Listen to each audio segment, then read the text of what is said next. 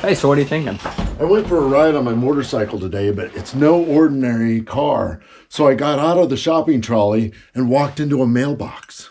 I knew you were gonna say that. You know, a sponge asked me earlier where the salt went. Told him I didn't know. Right. But hot dogs have not yet been invented. So earlier, I swam home and ate a whole bag of toilet paper. Well, yeah, that was the only way to keep the chickens in the trampoline park, and obviously you can't let the robots with the green suspenders see the sun. They'd freeze. I did everything I didn't even have to do. I stopped nothing and changed everything. But the clowns now, we can restart the rain and we can give them their bow ties back. But what about the hovercrafts, huh? What about the blue sandals? What can happen to them can't happen. And what is not the question, but who? Correct. It is now or not.